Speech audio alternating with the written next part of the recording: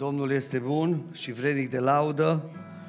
Domnul este în mijlocul nostru și mulțumim Lui de această oportunitate pe care ne-a dat-o fiecare dintre noi, ca în această dimineață să putem să fim în prezența sa, să îl lăudăm, să ne închinăm înaintea sa, pentru că El merită toată slava, toată cinstea, toată gloria, binecuvântat să fie El. Vă invit în această dimineață să deschidem Sfânta Scriptură în Luca, capitolul 22. Vom citi de la versetul 31, vom conclude versetul 33. Un cuvânt al lui Dumnezeu care în această dimineață ne va vorbi și spune în felul următor. Domnul a zis, Simone, Simone, satana v-a cerut să vă cearnă ca grâul, dar eu m-am rugat pentru tine, ca să nu se piardă credința ta și după ce te vei întoarce la Dumnezeu, să întărești pe frații tăi. Doamne, i-a zis Petru, cu tine sunt gata să merg chiar și în temniță și la moarte. Amin. Plecăm capetele și am să mai înalți o rugăciune spre Domnul. Tată Ceresc, în numele Domnului Isus Hristos venim înaintea Ta cu mulțumire. Îți mulțumim pentru Domnul Isus Hristos, îți mulțumim pentru jertfa sa, îți mulțumim, Doamne, pentru faptul că ai ales să-L trimiți în lumea noastră ca să moară pentru întreaga omenire. Ca toți aceia care cred în El să nu piară, ci să aibă viață veșnică. În această dimineață, Doamne, suntem în locul acesta toți ca unul și îți mulțumim, Doamne, pentru prezența pe care Tu ți-ai făcut-o simțită prin Duhul Sfânt. Îți mulțumesc, Doamne, că am simțit prezența Ta în locul acesta. Și îți mulțumim, Doamne, că cuvântul Tău este viu și lucrător, Doamne, și este adevărul absolut. Pentru că Tu ai spus, Doamne, că acolo unde sunt doi sau trei strânși în numele Tău și Tu vei fi acolo. Și în această dimineață, Doamne, îți mulțumim pentru faptul că Tu ești prezent în locul acesta. Îți mulțumesc, Doamne, că până aici, Doamne, ne-ai vorbit, Doamne, până aici, Doamne, ai primit uh, rugăciunile noastre, ai primit laudele noastre, dar te rog și în continuare, Doamne, Tu să lucrezi în dreptul fiecăruia dintre noi. Mă rog în această dimineață, Doamne, ca să le lași, Domnule, Doamne, un cuvânt proaspăt peste robul Tău. Și mă rog, Doamne, ca să-mi dai înțelepciune, pricepere, coerență, Doamne, și lumina, Doamne, necesară pentru ca fiecare, Doamne, care a venit în locul acesta cu întrebări, cu probleme, Doamne, cu lupte, Doamne, și cu frământări să poată să primească un răspuns. Pentru că Tu ești singurul, Doamne, care ne vorbești. Tu ești singurul, Doamne, care faci diferența. Tu ești singurul, Doamne, care ai un cuvânt de ridicare, Doamne, ai un cuvânt de dreptare. Tu ești acela, Doamne, care cunoști viitorul, Doamne, și ne vorbești. De aceea te rog în această dimineață, prin puterea Duhului Tău cel Sfânt, fă numele de slavă. Indiferent, Doamne, de lucruri cu care, Doamne, ne confruntăm, Doamne, în această dimineață, noi știm, Doamne, că e singurul care poți, Doamne, să remediezi, Doamne. E singurul care poți să ridici. E singurul, Doamne, care poți să dai la o parte orice piedică. E singurul, Doamne, care poți să vindeci emoțional. E singurul care poți să vinde sentimental. E singurul care poți să vinde psihic, Doamne. E singurul care poți să vindeci, Domnule, Doamne, spiritual. De aceea, în această dimineață, Doamne, mă rog, Doamne, să te ocupi de fiecare în parte. Te rog, Duhul Sfinte, Doamne, atinge-te. Te rog, Duhul Sfinte, revigorează. Te rog, Duhul Sfinte, Doamne, că în această dimineață să ne mai umpli de Duhul Tău cel Sfânt. Să mai pui noi, Doamne, motivație, să mai pui noi semnificație, să mai pui noi dorința, Doamne, de a sta la dispoziția Ta, Doamne. Să te putem, Doamne, preamări pe Tine stânca mântuirii noastre. Îți mulțumim că ești acela care ai fost până aici cu noi. Mă rog și pentru cei care în această dimineață lipsesc. Mă rog pentru cei care sunt la distanță. Acolo unde sunt, te rog să-i binecuvintez. Mă rog pentru cei care sunt pe sector, te rog, Doamne, să îi interes să-i folosești. Mă rog, Doamne, pentru cei care stau acasă și n-au venit că sunt prea comozi. Mă rog să nu le mai dai pace, Doamne, și liniște, Doamne până nu vor căuta fața Ta, Doamne, și până nu se vor apropia de Tine, până nu, Doamne, vor face orice, Doamne, ca să dea la o parte, să poată, Domnule, Doamne, să facă voia Ta. Și ajută-ne ca toți, Doamne, să facem sfântă voia Ta. Îți mulțumim în această dimineață pentru toți și pentru toate, Tată, Fiule și Duhul Sfinte în vecii vecilor. Amin. Vă rog respectuos să ocupați locurile. Stimați frați și surori, stimați prieteni, mulțumim Domnului pentru această dimineață. Îi mulțumim Domnului pentru harul acesta pe care ni l-a dat, ca în această dimineață să putem să fim la un timp de părtășie, la un timp de închinare, la un timp în care stăm înaintea Domnului, în prezența Domnului și ne bucurăm de ceea ce Domnul a făcut pentru noi în această dimineață. Lăuda să fie Domnul. Vezi, spune frate Darius, ai spus să ne bucurăm de ceea ce Domnul a făcut pentru noi. Da, în ziua de astăzi Dumnezeu ne-a dat o zi nou-nouță, brand new, cum zice americanul, adică o zi pe care Dumnezeu a renoit-o pentru noi și ziua aceasta este o zi în care și bunătatea lui Dumnezeu s-a renoit față de noi. Că nu suntem niciunul dintre noi cum ar trebui să fim. Nu suntem niciunul dintre noi la nivelul acela și la statura pe care Dumnezeu și-o dorește să o avem, însă Dumnezeu tocmai de aceea și-a renoit în această dimineață bunătatea cu scopul ca fiecare dintre noi să putem să mai fim ridicați la statutul pe care Dumnezeu și-l dorește să-l avem. Doamne, ajută la lucrul acesta. Aceea, în dimineața aceasta Domnul mi-a pus un cuvânt pe inimă, provocator, nu doar pentru noi, dar provocator pentru toți aceia care, unii dintre noastre care mai absentați de la biserică și sunteți seraliști, Uh, unii dintre cei care ne urmăresc, care sunt seraliști, care dau așa numai din când în când pe la biserică și toți aceia care pe viitor ne vor urmări. Pentru că de cele mai multe ori credem că comoditatea noastră sau lucru care uneori se întâmplă în viața noastră, dorința aceasta de a nu veni la casa lui Dumnezeu, am numit o dorință pentru că este o dorință, pentru că tot ceea ce facem, facem în urma dorințelor pe care noi alegem să le avem și pe care le avem este faptul că foarte mulți dintre noi nu ne dăm seama că ori de câte ori lipsim de la casa lui Dumnezeu, ori de câte ori absentăm, indiferent de motivul, că motivații pot să fie suficiente, dar nu aceasta este ceea ce ne determină pe noi să lipsim de la casa lui Dumnezeu. Și de multe ori nu ne dăm seama că în spatele intențiilor noastre, în spatele acțiunilor noastre, există anumite influențe din partea celui rău prin care cel rău încearcă să ne distanțeze cât mai mult și mai mult de Dumnezeu. Distanțarea de Dumnezeu sau depărtarea de Hristos, ea nu se face dintr-o dată, se face treptat așa cum o să vedem în această, în această dimineață. Pentru că fiecare dintre noi, în momentul în care ne-am propus și ne dorim ca să îl slujim pe Domnul, va interfera cu viața noastră din punct de vedere spiritual și diavolul care va încerca prin diferite lucruri, prin diferite surogate, prin diferite acțiuni, să ne influențeze modul de gândire, astfel să lipsim tot mai mult și mai mult de la casa lui Dumnezeu. Și știți care este tristețea? Tristețea este că unii dintre noi, chiar dacă suntem membri într-o biserică, chiar dacă facem parte dintr-o comunitate deosebită, s-ar putea să ratăm venirea Domnului Iisus Hristos și s-ar putea să ratăm uh, ajungerea noastră în împărăția lui Dumnezeu. Și toată viața ți-ai dorit poate lucrul acesta într-un fel sau altul. Toată viața ai vrut ca să ajungi acolo, însă datorită faptului că n-a existat motivațiunea corectă în viața ta, așa cum o să vedem în această dimineață, n-a existat acea dorință care să te determine să depășești orice obstacol, nu te-a făcut ca să poți să depășești acele impedimente care adeseori vin în viața fiecăruia dintre noi, pentru că nu vrem să ne scuzăm în această dimineață să spunem că noi suntem unii mai ocupați, alții mai puțin ocupați, noi avem unii obiective mai mari, alții mai obiective mai micuțe și din cauza aceasta ne-am putut să ajungem așa de mult la casa lui Dumnezeu și uh, lucrul acesta uh, a fost un impediment pentru noi. Și în această dimineață ne vom uita în cuvântul lui Dumnezeu. Și Biblia vine și ne vorbește că și Domnul Iisus Hristos a îndreptat cu ucenicii după ce a stat la cina cea de taină, după ce Domnul Iisus Hristos a mâncat, după ce Domnul Iisus Hristos timp de trei ani și jumătate, aproape atenție, a stat cu ucenicii și le-a spus de lucrurile care trebuiau să le cunoască, i-a învățat cum trebuie să slujească pe Dumnezeu, i-a motivat prin viața sa practică felul în care ei trebuie să se raporteze la tot ce are de a face cu pământul, i-a învățat că nu lucrurile acestea de pe pământ sunt cele mai importante, ci lucrurile eterne, veșnicia este mai importantă decât uh, viața aceasta de pe pământ, însă pentru a petrece veșnicia cu Dumnezeu, trebuie să fii determinat aici pe pământ să trăiești pentru Dumnezeu și după tot ceea ce Hristos a făcut cu ucenicii timp de trei ani și aproape jumătate, ne uităm în viața ucenicilor și parcă suntem șocați de ceea ce se întâmplă. Dar ne uităm în această dimineață în paralel, ne uităm și la viața ucenicilor, dar ne uităm și la viețile noastre.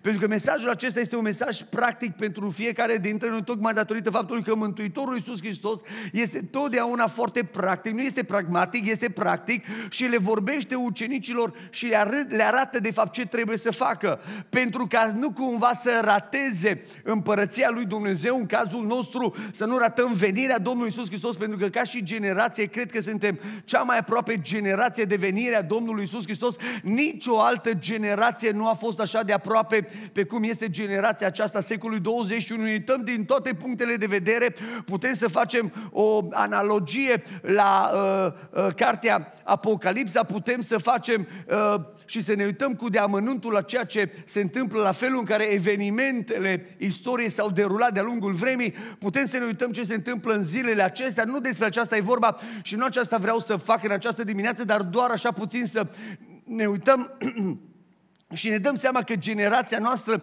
este cea mai aproape generație de venirea Domnului Isus Hristos. Și deși suntem cea mai aproape generație de venirea Domnului Isus Hristos, marea tristețe este că cei mai mulți din generația noastră vor rata venirea Domnului Isus Hristos, nu pentru că n-au știut că va veni Hristos, nu pentru că n-au avut contextul potrivit pentru a putea să ajungă în împărăția lui Dumnezeu, ci tocmai datorită faptului că au tratat-o cu foarte mare superficialitate relația lor cu Dumnezeu Dumnezeu.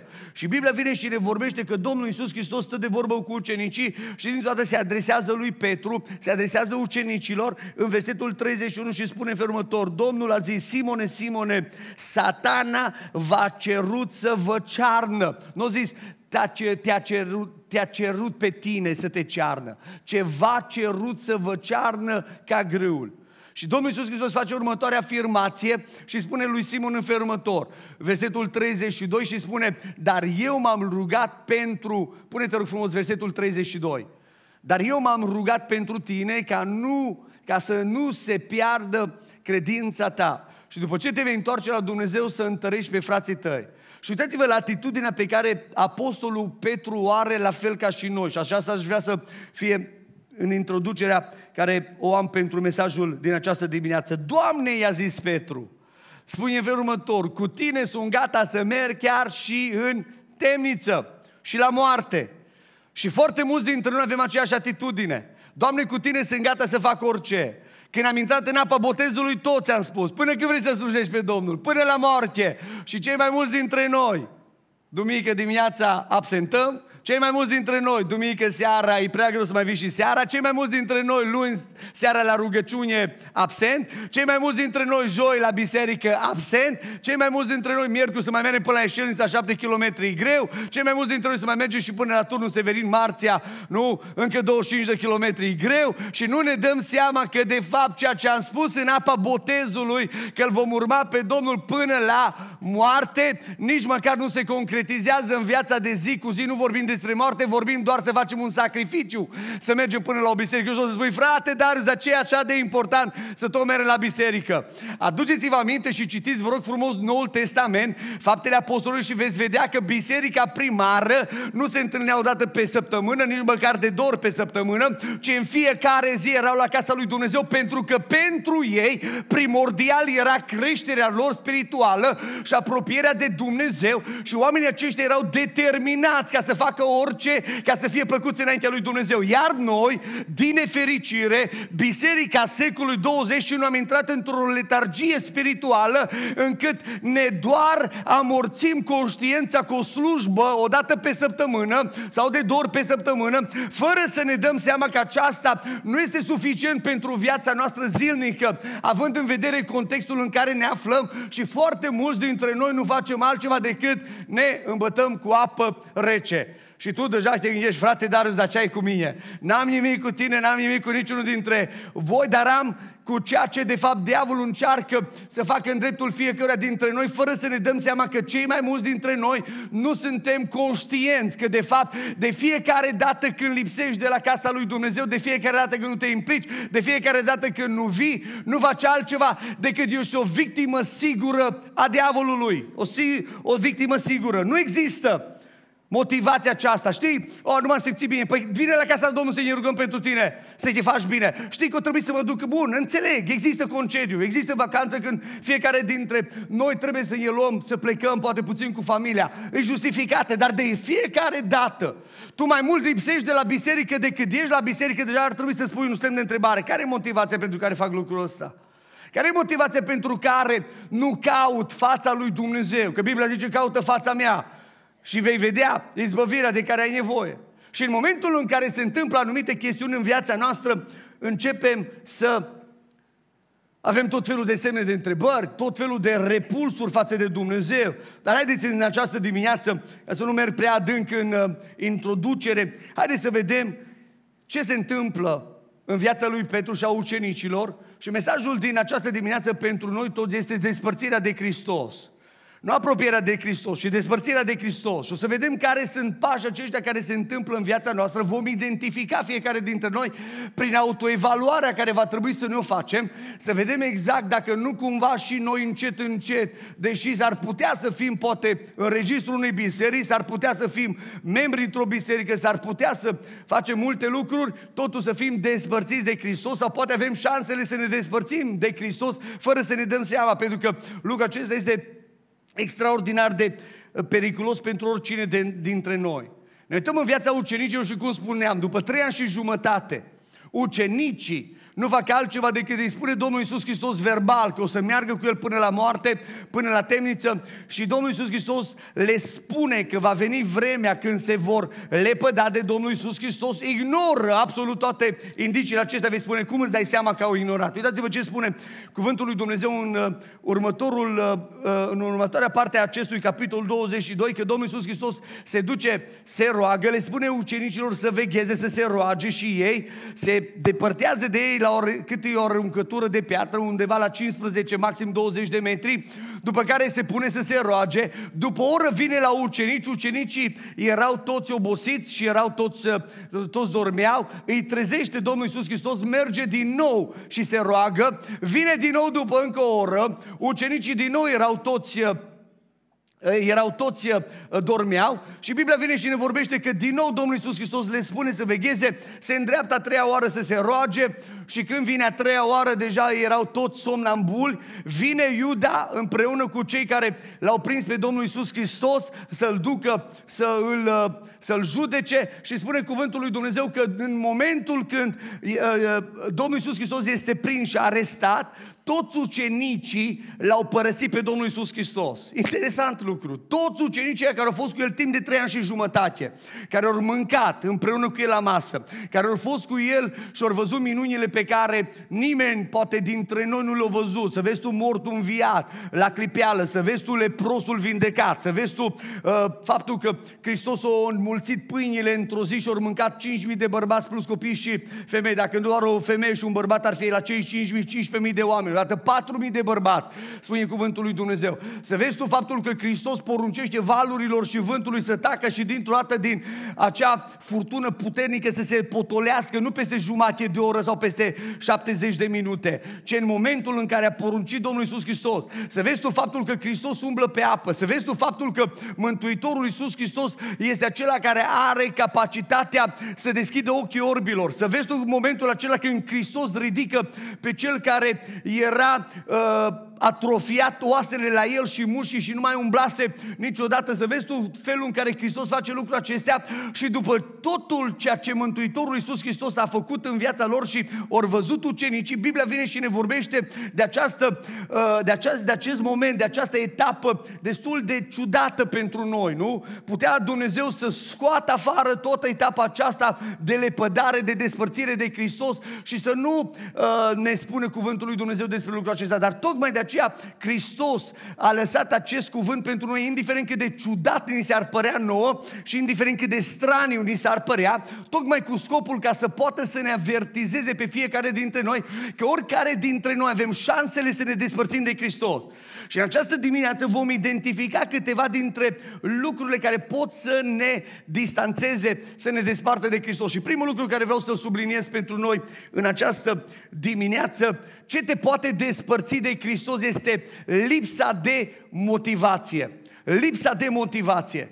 Lipsa de motivație în momentul când ești fără motivație să știi că lucrul acesta te determină să te desparți de Hristos. Dar vedeți, nu este o chestiune care se întâmplă în mod voit. Nu este o chestiune care să ți-o dorești. Puțin sunt oamenii aceia care zic, mă, am încercat cu Hristos, nu merge, nu-i pentru mine, uh, nu vreau să trăiesc o viață morală, nu vreau să trăiesc o viață spirituală, nu vreau să mă duc în cer, eu nu vreau ca să uh, pot să trăiesc așa cum îi place lui Hristos, am o viață extraordinară în care să nu mă cer cu nimeni, în care să nu consum alcool, în care să nu beau, în care să nu fumez, în care să nu mă droghez, în care să nu îmi spurg viața, în care să nu-mi distrug viața. Eu vreau să-mi distrug viața și nu puțin sunt ăștia care fac lucrul acesta. Dar cei mai mulți dintre noi, ceea ce ne determină ca să ne despărțim de Hristos este când începe viața ta să fie fără motivație. Motivația este vital de importantă, este unul dintre factorii cei mai importanți care ne propulsează pe fiecare dintre noi și ne mișcă și începe să nască noi sentimentul acesta în, în care nu facem altceva decât se declanșează voința noastră ca să putem să facem ceea ce ne dorim. În această dimineață pentru cei care ați venit la casa lui Dumnezeu, Dumnezeu să vă binecuvinteze pe toți, amin. Ați avut motivație să veniți la casa lui Dumnezeu, că dacă nu aveai motivație, nu veni la casa lui Dumnezeu. Dar vedeți, problema este că motivația aceasta variază în viața noastră. Și uneori suntem motivați, uneori nu suntem motivați. Unii, nu cum e fratele Emi cu Marius, au fost motivați să vină 300 de kilometri, să ne facă nouă bine și lucrării, dar ce bine, și au avut o motivație. Zice, mă, mă duc să le fac la oamenii, că au nevoie acolo de ce au ce au nevoie. Dar în viața noastră motivația aceasta trebuie să fie una care totdeauna să, să, să, să, să fie. Și motivația aceasta trebuie să fie una care este bună, una care să ne, așa cum o să vedem în dimineața aceasta, ne focalizăm pe anumite lucruri. Pentru că totdeauna când nu există motivație, vom fi fără de țintă. Vedeți, când vorbim despre motivație, trebuie să înțelegem că în momentul în care există o motivație în viața noastră, în momentul acela trebuie să înțelegem că motivația creează anumite obiective personale. Și când nu mai avem obiectivul împărăției lui Dumnezeu, să începem să lăsăm ușor cu biserica. Nu spuneți că aveți obiectivul împărăției lui Dumnezeu câtă vreme lipsești de la biserică. Nu spune. Nu spune. Nu spune că ai obiectivul împărăției lui Dumnezeu câtă vreme nu citești Biblia. Nu spune că te minți singur și pe tine și pe Dumnezeu. Nu spune că ai obiectivul împărăției lui Dumnezeu câtă vreme, ascultă-mă bine, nu, tu te rogi. Câtă vreme nu mai postești. Vezi, spune, oh, că nu poți să postești. Lasă-mă că poți să postești. Nu există să nu poți să postești. Dacă n-ai avea ce mânca, ce ai face? Ai posti, nu? Dar faptul că diavolul e înșală și nu mai trebuie să ne lăsăm să fim amăgiți de diavolul, pentru că fiecare dintre noi, într-un fel sau altul, de-a lungul umbrării noastre cu Dumnezeu, a existat momentul acesta în care am avut problema aceasta de motivație. Motivația noastră a fost greșită, cum o să vedem imediat, ca în cazul ucenicilor, sau au fost alte probleme, datorită faptului că obiectivul nostru personal nu s-a concretizat. Dorința noastră arzătoare. Știți ce-și doreau ucenicii? Ucenicii. Ucenicii nu-și doreau să ajungă în împărăția lui Dumnezeu. Ucenicii nu-și doreau ca să fie luați dintr-o dată, să fie răpiți, să meargă la Dumnezeu cum a fost, cum a fost Ilie. Știți ce își doreau ucenicii? Hristos să remedieze problema lor culturală, socială, economică, adică să-i scoată de sub robia romană și uitați-vă că era atitudinea ucenicilor. Unii să stea la stânga și unii să stea la dreapta, să domnească împreună cu Hristos fizic acolo în Ierusalim sau în Galileea, unde erau ei. Știi care e obiectivul tău? Știi care e? Să faci bani, să-ți meargă bine și să poți să trăiești o viață lejeră. Atâta. Asta e obiectivul multora dintre voi. Da, ai lipsiți de la biserică. Am încălzit, coprit domnișorii aerul. Mulțumesc. Asta e obiectivul cel mai multora dintre noi. Păi nu spune că e obiectivul meu împărăția lui Dumnezeu și îmi doresc ca să ajung în împărăția lui Dumnezeu. Să nu cumva să-mi spuneți că eu să lipsesc de la biserică, dar eu sunt cu obiectivul ăsta. Mă, eu tot ziua mă gândesc la împărăția lui Dumnezeu și eu nu dau pe la biserică. Dar nu există asta. Hai să o luăm în altă, sub o altă formă și în alt domeniu. Dacă cineva este bolnav de cancer și se spune, mă, te duci la Cluj, la oncologie, acolo oamenii ăștia au găsit o soluție, uh, poți să faci câteva citostatice, dar pe urmă o să-ți dea niște uh, lucruri care te ajută ca să-ți remedieze și lucrul ăsta să fie un, absol- un adevăr absolut. Ce credeți? Omul ăla o să se vindece dacă o să rămână acasă? Niciodată, păi e absurd, nu e paradox. Niciodată nu să se vindece dacă rămâne acasă. Atunci ce va trebui să aibă omul ăla în viața lui? Va trebui să aibă motivația să se iese, să meargă și din Orșova până la Cluj. 400 de kilometri. Și va trebui să obiectivul lui. Lunea, luna viitoare, lunea, luna viitoare din nou și de fiecare dată va trebui să meargă acolo pentru că ăla este remediu pentru viața lui.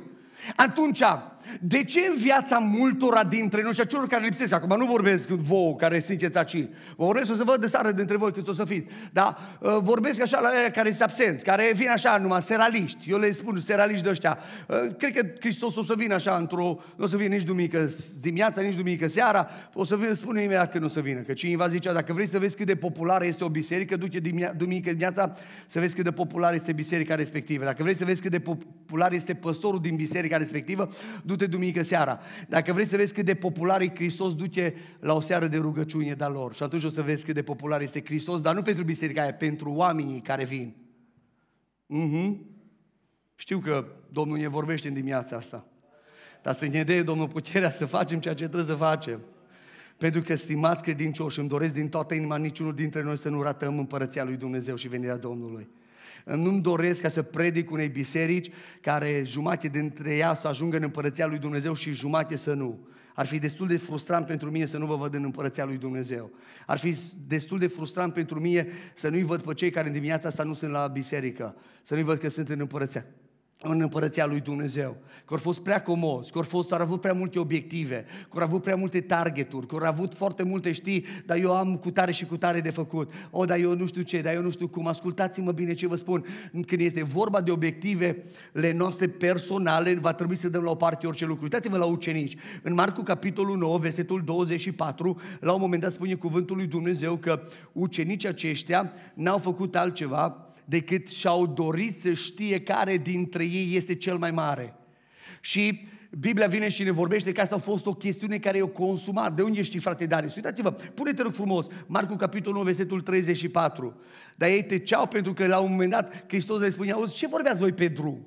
La care spune tot cuvântul lui Dumnezeu că ei tăceau pentru că pe drum se certau să vadă care dintre ei este cel mai, uitați-vă aici, cel mai mare. Asta a fost obiectivul lor personal. Obiectivul lor nu a fost ca să fie ca Hristos. Ascultați-vă ce vă spun, că asta e realitatea. Obiectivul lor nu a fost să ajungă în Împărăția lui Dumnezeu, să vină Hristos imediat, să fie acea venire iminentă a lui Hristos în care să-i surprindă și ei tot să fie gata. Nu a fost până acolo această, nu au avut motivația aceasta. Nu aceasta a fost ceea ce pe ei i-au făcut ca să meargă cu Hristos. Uitați-vă că doar din Biblie învățăm ce a fost motivația lor. Cum pentru mulți dintre noi. Frate, dacă îți mă pui, nu mă pui, dacă îi ce trebuie, dacă nu-i ce trebuie, atunci poate să vin. Dar dacă spune și tu cine ești și eu așa în toată ecuația asta, ca să știu. Ca să ce consumă pe foarte mulți oameni. Să vadă și ei exact care este uh, ceea ce trebuie să facă. Dar nu numai aici s-a întâmplat lucrul ăsta. Uitați-vă în Marcu, capitolul 10, versetul 37. În Marcu, capitolul 10, după un capitol, din nou ucenicii, toți ucenicii, ori stat și asta era o chestiune în care se frământă. Doi dintre ei au fost mai îndrăzneți. Și la un moment dat o vine și mama fiilor Zebedei, dar în alt capitol ne spune cuvântul lui Dumnezeu că ei au venit la Domnul Isus Hristos. Și au zis că Domnul Isus Hristos, zice, Doamne, știi ce să faci?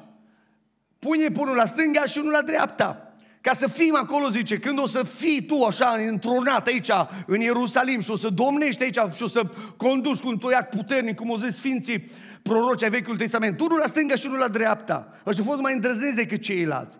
Pentru că realitatea este în momentul în care îți lipsește motivația, motivația ta poate să fie afectată sau motivația poate să fie datorită faptului că nu ai motivația corectă, datorită obiectivelor pe care, personale, care nu sunt cum trebuie.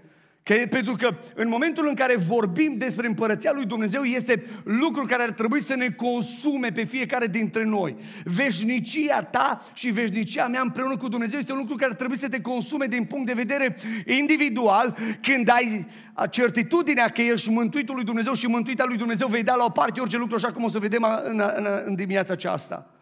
Dar asta e una dintre cele mai mari probleme pe care noi ca generație le avem și ar trebui să ne asumăm lucrul acesta. Hai mă și porniți-mi aerurile astea de aici din față, vă rog, și mai le opriți. Ascultați-mă bine ce vă spun.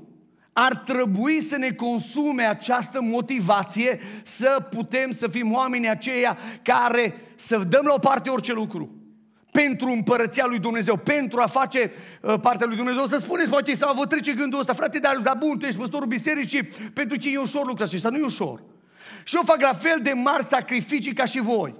Și eu mă lupt cu aceleași lucruri cum vă luptați voi. Și eu, uh, și la mine trec tot felul de gânduri, la fel cum trec în mințele voastre. Pentru că e o chestiune care pe fiecare dintre noi, diavolul încearcă să ne lovească. Și dacă obiectivul meu nu este ca noi toți să ajungem în împărăția lui Dumnezeu o problemă. De aia vă trimite mesaje. Unde ești? De ce nu ești? De aia l-am pus pe Cosmin să sune toți membrii bisericii. Unii dintre cei care ne urmăresc și mă bucur. Eu, Doamne, să ajungă la toată lumea. Nu? A, de ce ne sună fratele Cosmin? Că nu i-ai vine la biserică de aia. Și ar trebui să-i mulțumești că te-o sunat. Și să spună că nu vii la... Că, uh, să te întrebe dacă ești bine sau nu ești bine. Că nu toată lumea face lucrul ăsta, că ne pasă de sufletele voastre. De ce îți pasă? Că ești plătit? Nu, nu-ți plătit. N-am salar. N-am absolut nimic. Eu îmi plătesc în fiecare lună la cult ca să meargă cartea de muncă, să am carte de muncă asigurată la pruncii mei. Îmi plătesc eu în fiecare lună. N-am niciun beneficiu, n-am absolut nimic. Nu mă plătește nimeni. Nu-mi dă nimeni un ban să vin să predic. Nici mie, nici la restul lucrătorilor. Dar înțelegeți, când obiectivele noastre personale sunt poluate, avem șansele fiecare dintre noi. Când vorbim de motivație, nu vorbim doar de obiective personale, ci în momentul când vorbim despre uh, uh, motivație, vorbim și despre credință. Vedeți, noi spunem că avem o credință puternică în Dumnezeu. Chiar așa e lucrul ăsta. Chiar e adevăr lucrul acesta? Adică avem o credință? Cum avem o credință autentică în Dumnezeu când noi ne permitem luxul să nu venim și să facem? Și să lipsim și să nu ne implicăm și să nu căutăm mai mult și mai mult calea și voia lui Dumnezeu. Pentru că este vital de important ca toate uh, acțiunile noastre și deciziile noastre să fie ghidate de ceva. De ce? De credința care mă motivează să vin la casa lui Dumnezeu. În dimineața aceasta, dacă ești în locul acesta și spui că n-ai credință, să știi că te înșeli. Eu spun că ai o mare credință. Ai o mare credință și spun de ce. În primul rând, ai știut când mică dimineața îi slujbă locul acesta. Și ai venit prin credință. Unu, doi. Ai știut că la ora 10 începe slujba și ai o mare credință că n-ai venit la ora 9 și ai venit la ora 10 fără. Și asta spune că ai credință. Trei. Faptul că ai venit în locul acesta, ai știut că locul ăsta nu e închis și ai știut exact unde este și asta spune că ai credință. Patru. Faptul că te-ai pus pe scaunul ăla fără să-l verifici, să vezi dacă picioarele scaunului te ține și nu se rupe cu tine, denotă faptul că ai mare, mare credință. Cu siguranță niciunul dintre voi nu v-ați uitat sub scaun să vedeți, vă ține scaunul, vă spune ce v-ați așezat direct pe scaun acolo și asta spune că ai credință. Nu mai spune că n-ai credință, ai suficientă credință. Doar că credința asta trebuie canalizată și focalizată bine și corespunzător. Pentru că împreună cu motivația corectă te ajută să te apropii de Dumnezeu. Dar o credință care nu este și nu te canalizează unde trebuie să știi că este o problemă. Vedeți? Apoi, în momentul când vorbim de, uh, în momentul în care vorbim despre motivațiile acestea care pot să Uh, lipsească în viața noastră, vorbim și despre faptul că unii dintre noi așteptăm recunoașterea celorlalți din jur.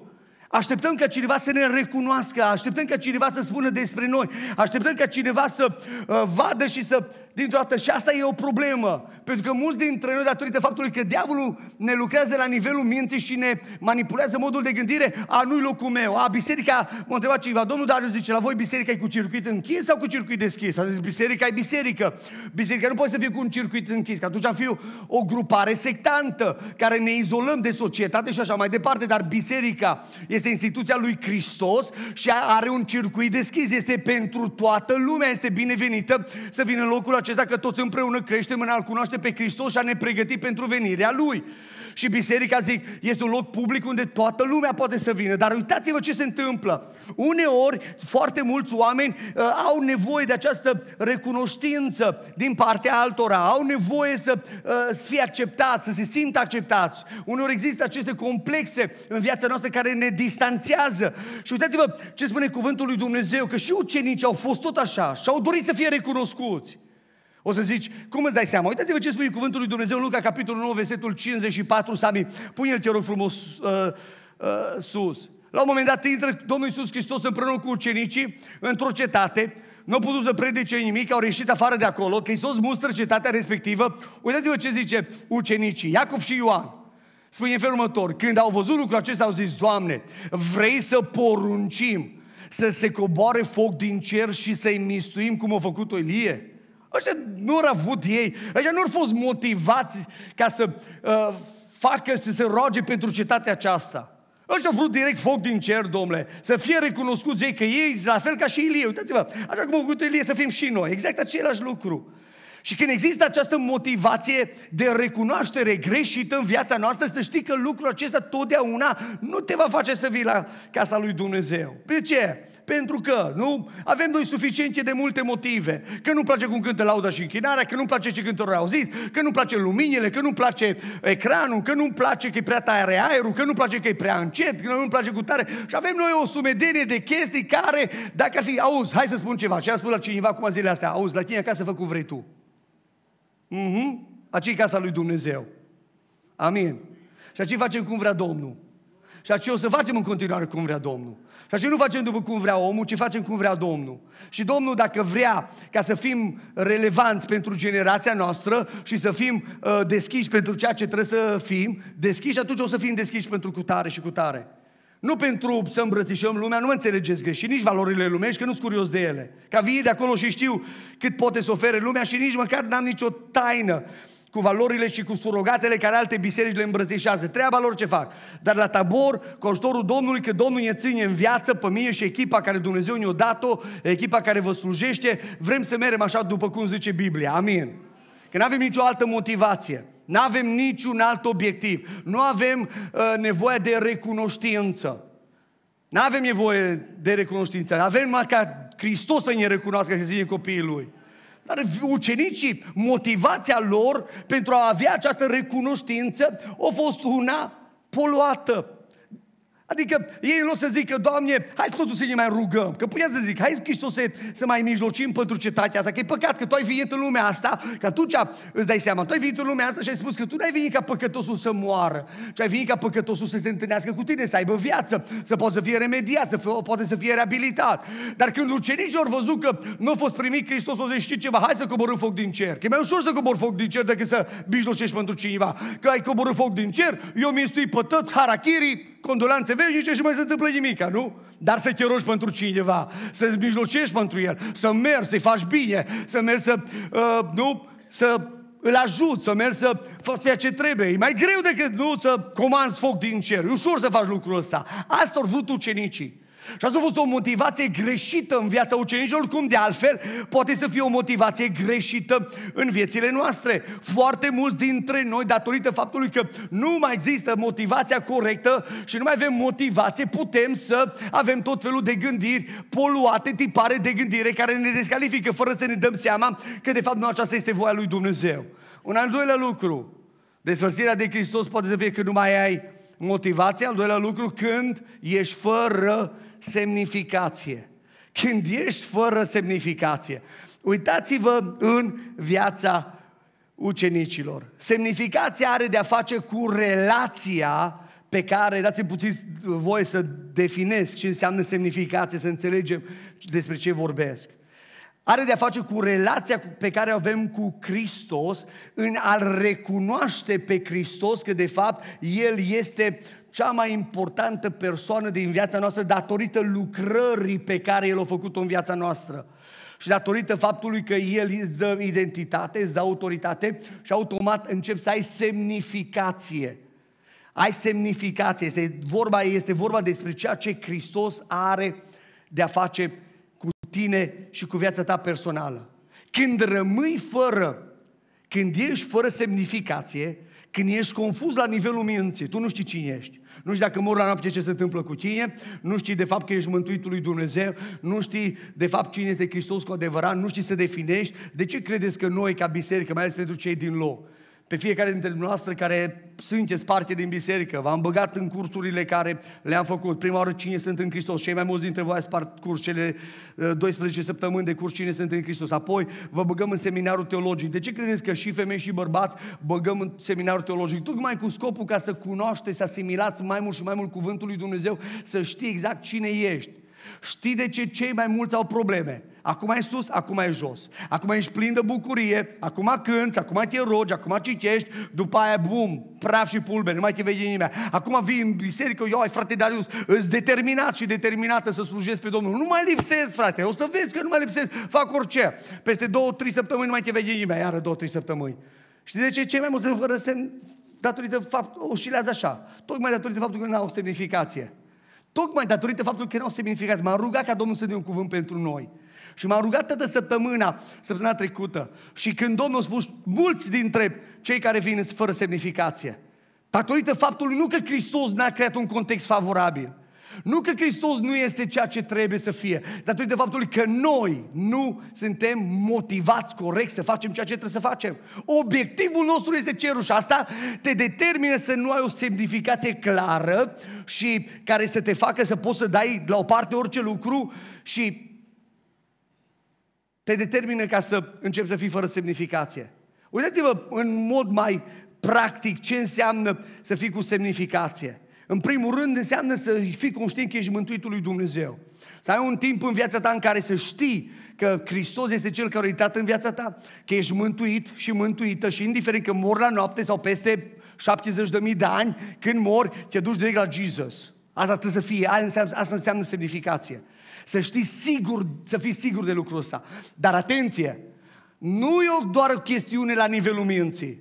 Nu, nu, nu. Când ești mântuitul lui Dumnezeu, știi ce se întâmplă? În momentul respectiv o să începi să ai motivație și în momentul ăla când ai semnificație și ai mântuirea lui Dumnezeu, o să fii, toate acțiunile tale se vor vedea pentru că toate sunt canalizate datorită faptului că ești mântuitul lui Dumnezeu.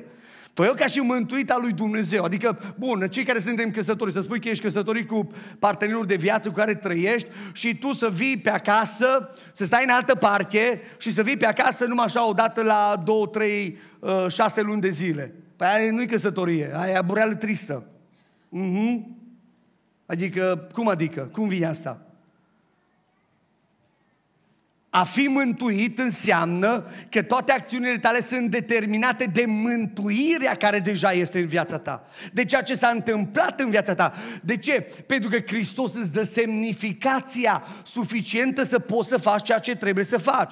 Uitați-vă câtă confuzie exista în viața celor care Hristos încă interacționa. Și aduceți-vă aminte că spune cuvântul lui Dumnezeu Ioan, capitolul 4, că la un moment dat Hristos trece prin Samaria și acolo Hristos inter- interacționează, interferează cu o femeie. Și femeia aceasta despre ea spunea că este foarte religioasă. Despre ea spunea că îi merge bine, că toate lucrurile sunt cum trebuie. Fără să-și dea seama că de fapt ceea ce se întâmpla în viața ei nu era cum trebuie. Și când se întâlnește cu Domnul Isus Hristos, pentru că cei mai mulți dintre noi, când Hristos, suntem despărțiți de Hristos, nu avem niciun clu, nu avem nicio idee că de fapt nu suntem cum trebuie. Numai că ne întâlnim cu Hristos, uite cei mai mulți dintre voi vă dau seama că sunteți șocați de ce vă spun în dimineața asta, că deja de la hă? Așa zice cei mai mulți dintre voi. De ce? Că știți că Domnul vă vorbește și, wow, nu m-am la asta. Chiar așa este. Dar n-ai ceva cu mine, n-am nimic cu tine. Dar Domnul îți vorbește și ne vorbește la toți. Amin. Și îmi dau seama că se întâmplă ceva. Și femeia asta care era plină de viață, care își trăia viața cum vrea, au avut așa mai mulți uh, bărbați care nu știm exact ce s-a întâmplat cu ei, cu cel care stătea, ne spune cuvântul lui Dumnezeu că nici cu ăsta nu era căsătorit, era numai în concubinaș. Și la un moment dat îl întreabă Hristos când vede că Hristos îi descoperă tainile inimii, zice, auzi, zice, nu te supăra, dacă tot ești, zice, auzi, zice, până la urmă, urmă, unde trebuie să ne închinăm? La Ierusalim, unde ziceți voi, sau aici pe muntele Bale? Bale era un munte unde era un templu, a fost, uh, a fost uh, dărâmat dărâmat templul acela care a fost făcut acolo în urmă cu vreo 100 și ceva de ani, dacă nu greșești, 162 de ani înainte de venirea Domnului Isus Hristos, au fost dărâmat, erau niște ruine și samaritenii mergeau și se închinau acolo. Ebal uh, este muntele unde când poporul evreu a ieșit din țara Canaan, uh, ori trecut prin uh, valea aceea spre, spre Canaan și era muntele Ebal și încă celălalt munte, am uitat numele acum că am un lapsus, în fine, nu asta e important. Și acolo poporul evreu, șase seminții s-au urcat pe un munte, șase seminții s-au urcat pe celălalt munte, de fapt preoții de la cele 12 seminții s-au urcat acolo și au început de pe un munte să rostească binecuvântarea și de pe celălalt munte au început să rostească blestemul. Și tot poporul în vale trebuia să spună că așa este. Și acolo s-a făcut un templu care a fost dărâmat și uh, samaritenii, care au frați cu izraeliții, doar că datorită faptului că au fost repopulat Samaria, au ajuns să fie foarte foarte, foarte urăcioși izraeliților, ei mergeau și se închinau acolo. Pentru că între Samaria, între samariteni și izraeliți, uh, evrei nu era nicio conexiune, tocmai datorită faptului că se urau unii pe alții. Și la un moment dat femeia aceasta mergea la locul acela de închinare și a început să-i spună Domnul Iisus Hristos, auzi, zice, dar unde este? Să mergem aici sau să mergem acolo? La care Domnul Iisus Hristos, când o vede pe femeia asta că este fără semnificație și este confuză, pentru că totdeauna când există confuzie în mintea ta, îți va anula semnificația sau vei fi îndoielnic cu privire la semnificația care tu ai în Hristos. Biblia vine și ne vorbește că Domnul Iisus Hristos la un moment dat îi spune în felul următor în versetul 20 25, uh, când îi spune în felul următor, ea zice, auzi, zice, știu că o să vină Mesia. Uh, pune versetul, știu, zice, i-a zis femeia, că va veni Mesia, că vrea să zice Hristosul. Când va veni, El are să ne spună toate lucrurile. La care Domnul Iisus Hristos spune, eu sunt acela care vorbesc cu tine. Și când vede femeia aceasta lucrul acesta, îi zice, auzi, zice, dar unde e locul acesta? Unde trebuie să ne închinăm? La care Domnul Iisus Hristos face o afirmație șocantă pentru femeie. Și spune în felul următor, zice, iată că vine vremea dar vine ceasul și va veni când închinătorii adevărați se vor închina Tatălui în duc și adevăr, fiindcă astfel de închinător dorește, uitați-vă la afirmația Domnului, și Tatăl, adică și eu, dar și Tatăl. Cu alte cuvinte, El cu Dumnezeu Tatăl sunt pe aceeași undă. Dar, acum este vorba de noi. Hristos este acela care dă semnificație. Când Mântuitorul Iisus Hristos îți dă semnificație, este momentul acela în care începi să te închini Domnului în duc și în adevăr. Dar nu te închini din când în când. Vei spune, frate Darius, așa este, dar uite, eu sunt acasă și mă închin Domnului împreună cu voi prin internet. Bun, dar nu e la fel. Nu e la fel. Există circumstanțe care ne limitează să ajungem. Dar când tu poți să vii la casa lui Dumnezeu, dar o să spui, da uite, plecat în altă parte, nu mă interesează, ai plecat pentru că ai vrut tu să pleci. Când e casa lui Dumnezeu, când e locul să vii la casa lui Dumnezeu, nu mai pleci altundeva sau să faci așa lucrurile ca să ți le rezolvi. O să spui, da, așa de important e, da. De ce mâine dimineață nu pleci în vacanță fără să-ți o programezi? De ce poi mâine când trebuie să mergi la lucru și știi că trebuie să ajungi la lucru, nu faci altceva? Și trebuie să mergi la lucru. De ce răspoi mâine când trebuie să ajungi la locul tău de muncă sau uh, responsabilitățile care le ai, nu ți le neglijezi așa cum re- neglijezi relația cu Dumnezeu? Că asta e o problemă care ne, ne constrânge. Asta e lucrul care ne constrânge și asta e problema cu care noi ne confruntăm. Și toate acestea se datorează faptului că cei mai mulți dintre noi suntem fără semnificație. Că dacă ai, ai avea semnificația profundă și puternică în viața ta, că mă, tu ești mântuitul lui Dumnezeu, ascultă-mă ce spun, te va determina numai să nu mai păcătuiești, nu numai să nu mai faci lucruri care le faci, nu numai să vorbești, mai atunci să vedem, vedem lucrul acesta, să vorbești cum trebuie, dar îți va da capacitatea aceasta să dai la o parte orice obstacol, orice impediment care te împiedică să faci ceea ce Dumnezeu te-a chemat să faci. Dar vedeți, când există problemă, în viața noastră și când există confuzia aceasta, confuzia aceasta ne dă așa peste cap și confuzia nu face altceva decât ne face să nu cumva să ne gândim la ceea ce de fapt Hristos a făcut. Când Luca vorbește despre Domnul Isus Hristos și când Ioan, călăuzit de Duhul lui Dumnezeu, profețește Uh, de fapt, mă iertați, nu Ioan, ce Zaharia profețește despre Domnul Iisus Hristos. Uitați-vă ce spunea despre Mântuitorul Luca, capitolul 1, versetul 69 și după aia versetul 71. Faptul că Dumnezeu ne-a ridicat o mântuire puternică în casa robului său David. Pune versetul uh, cum vestit prin gura Sfinților Săi proroci care au fost în vechi, din vechime și versetul 71, mântuire de vrășmașii noștri și din mâna tuturor celor ce ne urăsc. Nu vorbește despre o chestiune fizică care se întâmplă cu cineva. Nu, nu, nu, nu vorbea despre robia romană. Aici vorbea despre acea, uh, acea legătură, acea uh, intervenție care diavolul a avut asupra vieților noastre să ne lege sufletele. Singurul care aduce mântuire, izbăvire, singurul care eliberează, singurul care face lucrarea este Isus Hristos, binecuvântat să fie numele Său, dar El când o face, trebuie să se vadă lucrul ăsta în viața ta și în viața mea. Trebuie să ne determine să putem să avem ceea ce trebuie să avem, să avem semnificația aceasta care este cauzată de mântuire. Că nu poți să spui, am semnificație. Bun, dar de ce ai semnificație? Pentru că sunt mântuitul lui Dumnezeu. De ce mai ai semnificație? Pentru că am început să fiu un exemplu prin comportamentul meu, prin compasiunea pe care Dumnezeu a pus-o în viața mea, că asta înseamnă să ai semnificație. Înseamnă să începi să ai compasiune față de Dumnezeu, să-ți dorești, să-L iubești pe Dumnezeu, să se vadă lucrul ăsta că Îl iubești cu adevărat. Degeaba zicem, Jesus, I love you, că Domnul se uită la tine și mm, you don't love me. Doamne, dar te iubesc, stai liniștit că nu mă iubești. Doamne, dar știi că eu fac orice pentru tine, cum a zis Petru, Doamne, eu mor cu tine, stai liniștit, Petre, că nu știi ce vorbești, nu mor cu mine, mă, că, bă, când e vorba de moarte și să-ți păstrezi viața, toată lumea începe să tremure. Doamne, dar cum nu te iubesc, Doamne, că eu sunt gata și sunt determinat să fac orice lucru, stai liniștit că nu o să-l faci. Nu să cânte cocoșul în seara asta, nu cu doar câteva ore după afirmația Mântuitorului. Doar câteva ore au trecut după afirmația, nici măcar 24 de ore. Și a fost falimentat Petru. Și ucenicii toți au fugit și toți l-au părăsit pe Domnul Isus Hristos. De ce? Tocmai datorită faptului că exemplul lor nu a fost unul care a fost uh, motivat datorită semnificației, pentru că erau mântuiții lui Dumnezeu, deși erau mântuiți de Dumnezeu. Aveau mântuirea, dar confuzia nu a făcut altceva decât să-i determine să aibă așa uh, compasiunea aceasta limitată față de Dumnezeu. Cum la noi este? Hai să fim realiști. De ce îl iubești pe Dumnezeu? M-a vindecat, bun. De ce îl iubești pe Dumnezeu? M-a făcut bine, bun, slavă Domnului. De ce îl iubești pe Dumnezeu? Că Dumnezeu m-a bine face la tot. De ce? Că mi-a dat viață, bun. Că m-a vindecat de cancer, că m-a vindecat de depresie, că m-a scos din frică, că cu tar. Bun, slavă Domnului. Și dacă îl iubești așa de mult pe Dumnezeu, de ce lipsești de la biserică?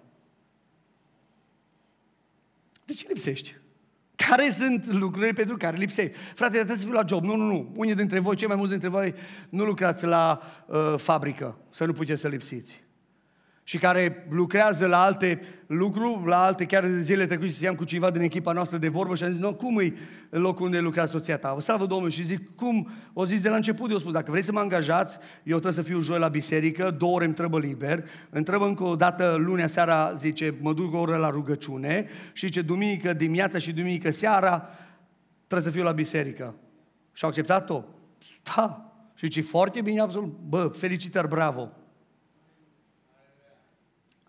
Asta, da, asta trebuie să... Da. Ascultă-mă, dacă Domnul te vrea să fii într-un job undeva, ascultă-mă, termenii pe care tu îi pui, dar nu că ești puturos și puturoasă, că Dumnezeu nu, nu monkey business, nu merge cu Dumnezeu. Afaceri de mai multe nu merge cu Dumnezeu. Dar ascultați-mă bine ce vă spun. Dacă vrei cu adevărat și e sincer și sincer și motivația ta și semnificația ta face lucrul ăsta, o să facă Dumnezeu exact așa cum trebuie. Pentru că v-am mai spus lucrul ăsta și fac o paranteză. Orice lucru care te distanțează de Dumnezeu, ascultă-mă bine ce spun, orice lucru, cum te distanțează de Dumnezeu, cum te desparte de Dumnezeu, prin faptul că nu mai ai relația cu Dumnezeu, nu mai poți să faci ceea ce trebuie, chiar și prin faptul că nu vii la biserică. Atât de spui, mă, frate Darius, vin la biserică. Așa de important e, da, uitați-vă ce spune în cuvântul lui Dumnezeu. Orice lucru care te distanțează de Dumnezeu, să știi că nu e de la Dumnezeu. Indiferent că-s bani, că e job, că e soție, că e soț, că e copii, că e hobby-uri, că orice lucru. Orice lucru care te distanțează de Dumnezeu nu este de la Dumnezeu. Dumnezeu nu va îngădui un lucru în viața ta care să te distanțeze. Diavolul poate să facă lucrul ăsta. Și diavolul poate să încurseteze anumite chestii ca să te facă să nu mai ajungi la, la biserică. Uitați-vă, când vorbesc despre, despre compasiunea care ar trebui să existe în viața noastră, Uitați-vă ce spune cuvântul lui Dumnezeu, că toți spun, mă, la biserică, la biserică. Uitați-vă ce spun despre biserica primară. 3000 de oameni, nu 300, cum suntem noi. 3000 de oameni, ascultați-mă bine ce vă spun. Puneți-vă frumos, Ami, fapte capitolul 2. Versetul 42, dacă nu greșesc. Spune că 3000 de oameni după ce au fost botezați, după ce au fost uh, au făcut parte din biserică, uitați ce făceau. Ei stăruiau în învățătura apostolilor, în legătura frățească, în frângerea pâinii și în rugăciune. Oamenii aceștia, fiecare, da, fiecare era plin de frică. Oamenii aceștia veneau în fiecare zi. Oamenii aceștia luau cina în fiecare zi.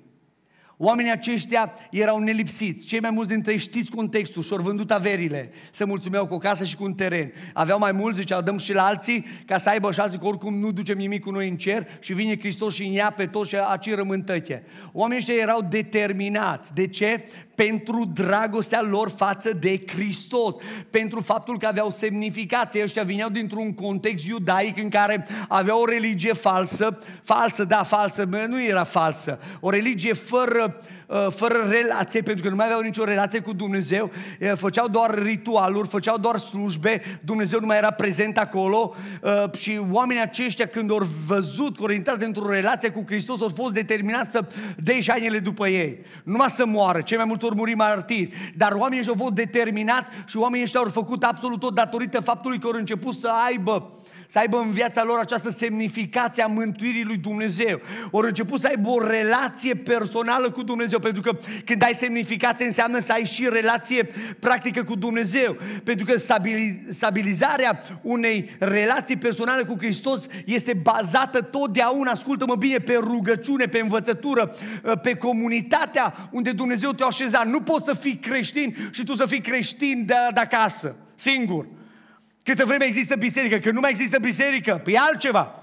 Dar este biserică și biserica venim toți împreună și ne rugăm împreună și tragem toți împreună și suntem aceia care totdeauna suntem determinați să ne ajutăm unii pe alții să ne ridicăm, să ne remorcăm, că uneori trăgem așa după noi, așa cu 800 de cai putere, trăgem după noi încă vreo 20, 30, 40 care tă pe jos sunt spicați.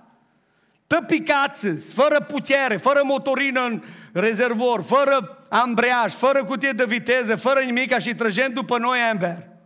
Numai de dragul să ajungă în ceruri. Îi trăgem după noi, nu e o problemă, că îi trăgem cu tot dragul. De ce? Pentru că Hristos a făcut lucrul ăsta cu noi. Dar vedeți, câtă vreme există, nu există semnificație. E o problemă majoră și un al treilea lucru și un ultim pentru noi, că timpul de trecut și vreau să ne rugăm în, seara, în dimineața aceasta. În momentul în care ți-ai pierdut direcția, acum șoferii știți ce periculos e să-ți pierzi direcția. Fără direcție te duci pe hatchuri.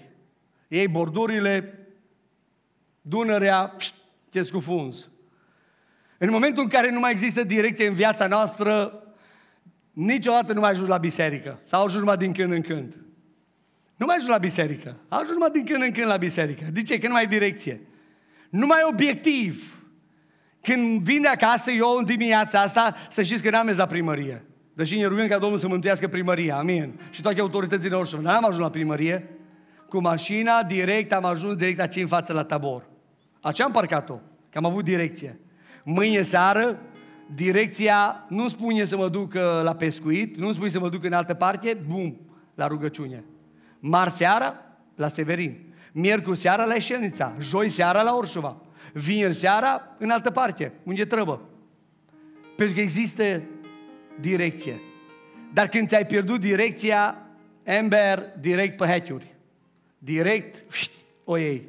Pentru că un om fără direcție este ca și un vapor care este în derivă. E purtat de valul stânga și dreapta. Și din nefericire, Problema asta e o problemă națională. Duminică dimineața vin oameni la biserică. Multe biserici au fost tentați și până la urmă au scos slujbele de duminică seara.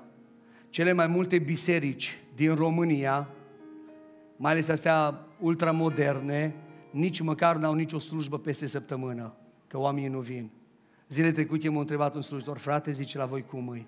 Păi hai să vezi, Joi seara au fost șocat că s-am fost tot așa de mulți cum sunteți, uh, cum suntem în dimineața asta. Și au zis, la voi joi seara când în cele mai multe biserici de la noi, zice, din Cluj, din Oradea, din, din Arad, din altă parte, bate vântul, cei mai mulți au scos slujbele afară și vorbesc de cele mai mari orașe unde sunt cele mai multe biserici, nu? La Cluj 70 de biserici, la Oradea vreo 60 de biserici, la, da? Și bat, bate vântul. Dacă încă mai dăm pe ei, cum o zice cineva, frate, dă pe noi ca poță de cai. Nu mă zice și ajungem în cer. Dăm și vă motivăm și vă provocăm și mă rog ca Duhul Sfânt al lui Dumnezeu să nu vă mai dea pace și liniște să stați acasă. Nici ăștia care ne urmăresc. Niciunul dintre ei. Așa să fiți tulburați, să n-ai nicio stare să vin casa lui Dumnezeu. Și da, auzi, are Dumnezeu motive. Te duce Dumnezeu. Dacă nu te duce sănătos, te duce bolnav, dar te vii. Că te iubește Domnul. Și îți dă după aia direcție. Cum o zice cineva ieri către altcineva, zice, auzi, zice, dar de ce ai vrea ca să te întorci la Dumnezeu bolnav, cu cancer, fără picioare, pe un căruciorul cu rotile sau în altă condiție când te poți întoarce la Dumnezeu sănătos? De ce? De ce? Că Dumnezeu îți vorbește în bunătate și în dragoste. Tu știi ce fain să slujești pe Domnul cu mintea înțeleaptă, cu toate membrele, să prindă putere, să nu fii în depresie, să nu fii handicapat, să nu fii altcum. Tu știi ce fain e? Cel mai bun lucru care ți se poate întâmpla este să slujești pe Dumnezeu. Nu există alt lucru mai important. Dar când îți pierzi direcția, ucenicii și-au pierdut direcția. Când le-a zis Domnul Iisus Hristos că trebuie să meargă să moară și a treia zi va învia și să-i aștepte pe Domnul Iisus Hristos în, uh, să-l aștepte pe, uh, pe, pe munte, cei mai mulți dintre ucenici nu au fost nicăieri. Deci mă mereți în Galilee acolo să mă întâlnesc cu voi. Da, de unde? Stai liniștit că nu pleca Hristos fiecare la treburile Lui.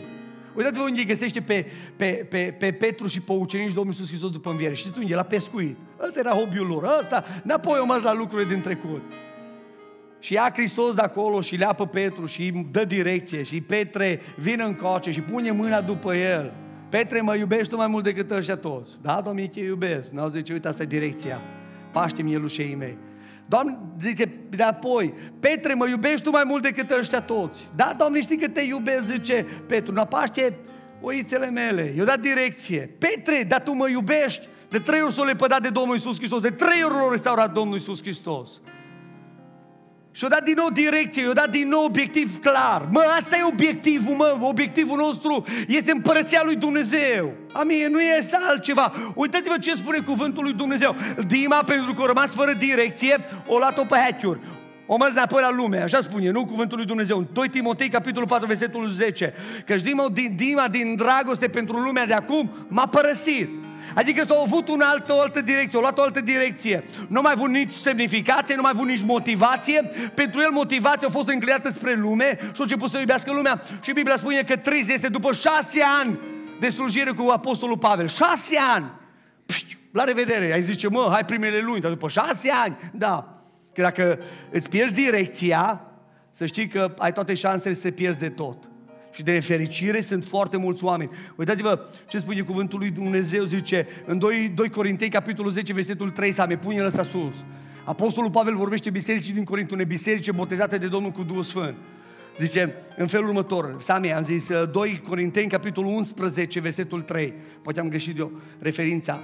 Spune în felul următor, dar mă tem că după cum șarpele a amăgit-o pe Eva cu șireticul ei, tot așa și gândurile voastre să nu se strice de la curăția și credincioșia care este față de Hristos. Și când se strică gândurile, îți pierzi direcția. De aici pleacă tot. Acțiunile noastre pleacă de aici, de la nivelul minții. Am gândit cum ne-am îmbrăcat. Sunteți mândri, tot sunteți nealcoși în seara asta, în dimineața asta. Nealcoși înseamnă frumoși. Sunteți juicy. Tot sunteți frumoși. Niciunul dintre voi n-ați venit în pantalon scurt, n-ați venit uh, în maieu, n-ați venit cum ați trezit ciufuliți și ciufuliche, nu ați venit frumos, că v-ați îmbrăcat, că știu tu. Da? Și dacă cineva vine în altfel, nu e asta o problemă, da? Am venit frumos, da? Când e vorba de direcția spre împărăția lui Dumnezeu, de aici pleacă. Dacă mintea noastră, că zici, oh, dar eu iubesc pe Domnul cu inima, stai liniștit, mă. Am zis că Dumnezeu nu se lasă impresionat. Poți să frumos, Ami, numai așa repede, uh, Ioan, capitolul 2, versetul 23, 24, 25, numai să vedeți exact ce tot vă spun eu. Deci în felul următor, pe când era în Ierusalim, la praznicul Paștilor, mulți au crezut în numele Lui. căci vedeau semnele pe care le făcea. Dar uitați-vă la Domnul Iisus Hristos. Dar Iisus nu se încredea în ei pentru că îi cunoștea pe toți. Și n-avea trebuință să facă cineva mărturiseze despre niciun om, fiindcă el însuși știa ce este în om, el știe. El știe inima ta și știe inima ta. El știe motivația, el știe semnificația care o ai. El știe absolut dacă ți-ai pierdut sau nu ți-ai pierdut direcția. Ascultă-mă bine, să-ți pierzi direcția, asta nu înseamnă că ești descalificat. Și prin faptul că ți-ai pierdut direcția și ai tot oscilat și n-ai făcut ce trebuie, nu e o problemă că Hristos, așa cum l-a restaurat pe Petru, așa poate să te restaureze și pe tine și pe mine. Pentru că uitați-vă ce spune Evrei, capitolul 12, versetul 2. Zice să ne uităm țintă Zice la căpetenia și desăvârșirea credinței noastre, adică la Isus. Țintă înseamnă să ai direcție, înseamnă să ai obiectiv, înseamnă că ăsta este ceea ce te preocupă, ăsta este ceea ce te frământă, ăsta este ceea ce ar trebui să te consume zi și noapte, să te consume în interiorul tău, să nu-ți dea pace, să nu-ți dea liniște. Faptul că nu ești bine cu Hristos până în momentul în care viața ta se restaurează și ești bine cu Hristos, este ceea ce de fapt trebuie să fie. Dacă ne pierdem direcția, în momentul acela o să începem să oscilăm. Să fie ca vaporul în derivă, cum am spus, care este dus de valuri și în stânga și în dreapta, nu mai poate să ajungă la destinație datorită faptului că valurile s-au ridicat și au pierdut cârma, și au pierdut direcția, și au pierdut tot, este debusolat, este confuz și nu mai știe încotro să meargă. Și din nefericire asta se întâmplă cu foarte mulți creștini care astăzi nu mai sunt ceea ce trebuie să fie nu au ajuns să fie ceea ce trebuie să fie, sau au fost și undeva s-a pierdut. Pentru că n-a fost veghere și n-a făcut ceea ce trebuie, la fel cu Hristos, în cazul ucenicilor. Le-a spus Hristos, mă zice, Petre, tu ești fără direcție. Eu m-am rugat ca direcția ta să fie recuperată și când o să te întorci la Dumnezeu, să poți să întrești pe frații tăi. Pentru că deja, Petre, tu ai făcut niște chestii care îmi dau seama că nu sunt cum trebuie.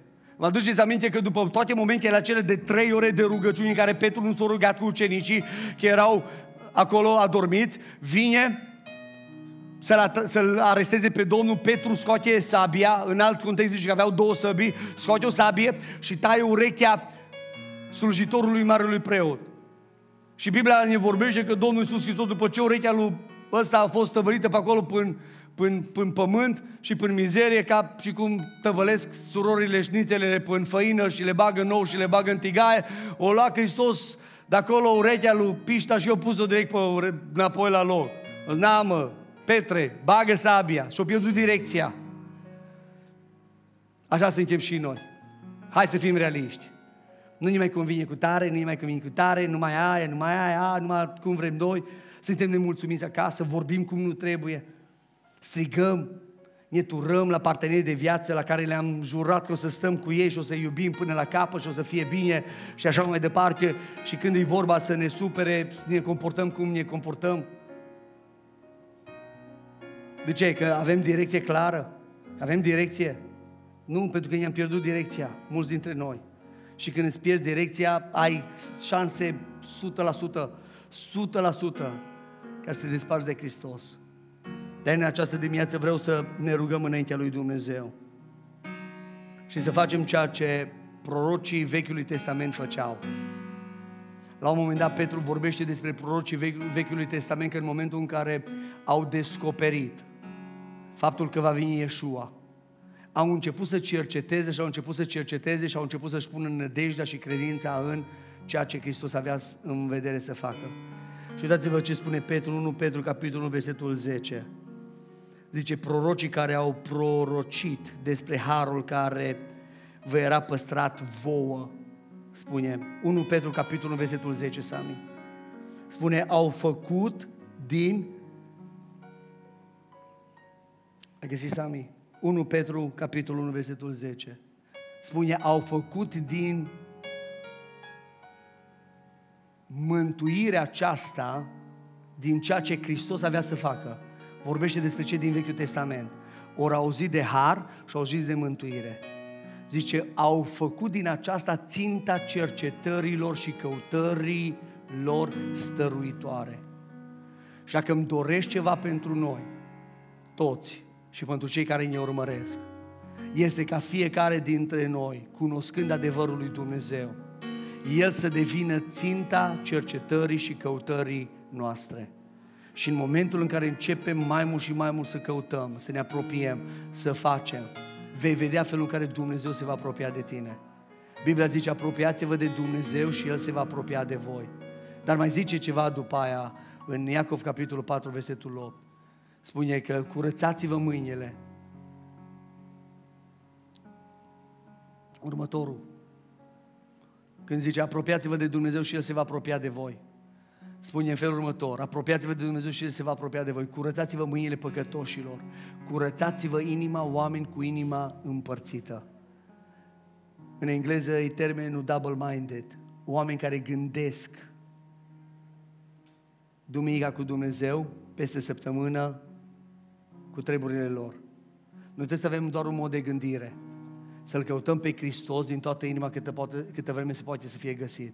Să ne apropiem de Domnul Isus Hristos cu toată inima noastră și să dăm la o parte orice lucru. Ținta căutării noastre să nu fie nici banii, nici fericirea în lume, nici uh, lucrurile lumii, nici faptul că trebuie să mergem în altă țară, să strângem mai mulți bani, ce ținta căutării noastre este faptul că trebuie să ne apropiem de Dumnezeu și trebuie să trăim pentru El.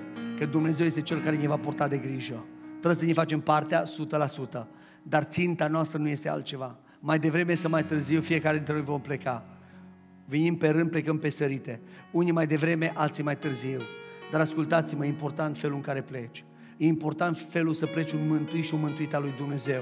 Este important când ajungi în împărăția lui Dumnezeu să-ți primești răsplătirile pe care Dumnezeu le-a pregătit, la care mintea noastră nu poate să se gândească acum. Nici nu avem capacitatea să înțelegem toate resursele pe care Dumnezeu și toate lucrurile pe care Dumnezeu le-a pregătit ca să răsplătească pe cei. Nu vorbesc de mântuire, mântuirea e gratis, ne-o dă Dumnezeu gratis, dar există răsplătiri în funcție de ceea ce am făcut aici. Zicea bebe de zeciuială, dar nu obligăm pe nimeni să dea zeciuială. Dar cine nu dă zeciuială, nu zice Biblia că e blestemat, că îl înșală pe Dumnezeu. Nu mă înșel pe mine și nu pe tine, că eu n-am nevoie de bani tăi și nici bebe n-are nevoie de bani tăi. Dar Biblia vine și ne spune faptul că Dumnezeu ne dă oportunitatea să fim în continuare binecuvântați și binecuvântarea lui Dumnezeu să vină peste noi. Și atunci când noi venim și dăm zeciuială la biserică, dărnicia o facem în altă parte. Nu mai confundați lucrurile. Zeciuiala se duce aici și dărnicia o face în altă parte. Biblia vine și ne vorbește că în felul acesta ești binecuvântat de Dumnezeu pentru, pentru faptul că faci ceea ce de fapt e obligația ta. Nu este obligația pe care ți-o impus o biserică. Este ceea ce tu, ca copil al lui Dumnezeu, dar vedeți, toate astea se leagă. Când îți pierzi direcția, nu mai faci ce trebuie să faci. Și asta e o problemă care mă doare și după ce plecăm de la slujbă să vedeți numai că iară trimite mesaje la frații care nu sunt pe sector, nu sunt la excelență astăzi, nu sunt în altă parte, au rămas acasă. Că doar îi vedem care sunt online, nu? Și care sunt acasă, e ușor. Nu trebuie să fii mare filozof. Ne ridicăm în picioare în dimineața asta. Haideți să ne luăm hotărâri înaintea Domnului. Haideți să rugăm pe Duhul Sfânt al lui Dumnezeu să ne umple viețile. Haideți în dimineața aceasta, chiar dacă vă da un mesaj care știu că Domnul i-a vorbit fiecare dintre noi. Oricare dintre noi avem șansele să ne despărțim de Hristos. Nu suntem imuni nici la păcat, nu suntem imuni nici la atacurile demonice, nu suntem imuni la absolut niciun lucru care diavolul poate să ridice în dreptul nostru. Dar în dimineața aceasta ne rugăm, Doamne, Mă rog, Doamne, ca prin Duhul Tău ce Sfânt să pui o motivație bună, clară în viața mea. Doamne, mă rog, Doamne, ca să fiu motivat de fiecare dată când știu că este slujbă, să nu mai lipsesc și să vin. Doamne, ești motivat, Doamne, ca să fac, să dau la o parte orice alt lucru, orice alt eveniment, orice alt, o indiferent de natura lui, nici nu sunt curios, nici vreau să spun că e familie, că e prieten, că e hobby, că e ce îi, duminica este ziua lui Dumnezeu când trebuie să vin și dimineața și seara la biserică. Peste săptămână trebuie să venim când trebuie să venim la biserică. Doamne ajută la lucrul acesta. Nu e o manipulare, nu e o uh, ceva ce vă impunem. Nu, trebuie să vină din noi, dar trebuie să ai motivație. Când ai motivație, o să faci lucrul ăsta. Și o să fie nu bine, ce foarte bine pentru tine și pentru viața ta și pentru casa ta. Pentru că asta nu face altceva decât pe tine te favorizează și te ajută. Haideți să venim înaintea Domnului să spunem, Doamne, mi-am pierdut semnificația sau semnificația mea este confuză. Nu știu, Doamne, dacă sunt mântuitul Tău sau sunt mântuită ta. Te rog, Doamne, să pui clar certitudine în inima și în viața mea că sunt mântuitul Tău. Și când ai semnificația aceasta mântuirii, nu o să să mai lipsești, o să faci orice, o să dai la o parte orice lucru din toate punctele de vedere. Am vorbit doar în domeniu acum, dar în orice lucru vei da la o parte. Apoi rogă-te dacă ai rămas fără direcție, Doamne, mă rog, Doamne, dă direcție clară, Doamne, vorbește mie, că Domnul, Domnul îți vorbește. Doamne, care e calea pe care trebuie să merg? Ce trebuie să fac, Doamne? Ce mai trebuie să dau din viața mea? Care sunt obstacole care mă opresc ca să nu ajung la casa ta? Care sunt lucrurile care m-au făcut să meargă viața mea să plutească în derivă? Care sunt lucrurile care m-au dat peste cat? Care sunt prioritățile în viața mea? Să le schimb prioritățile, să pun, Doamne, prioritatea tu, uh, prioritatea ta în viața mea primordial. Sunt multe lucruri datorită faptului că vedem lucrul acesta în Scriptură care ne împiedică. Dar haideți în această dimineață Cred că Domnul, așa cum a făcut cu Petru și l-a luat pe Petru după cap, Domnul ne ia pe noi în dimineața aceasta. Și ne îmbrățișează Domnul pe fiecare dintre noi și ne dă capacitatea ca să putem să avem direcția bună.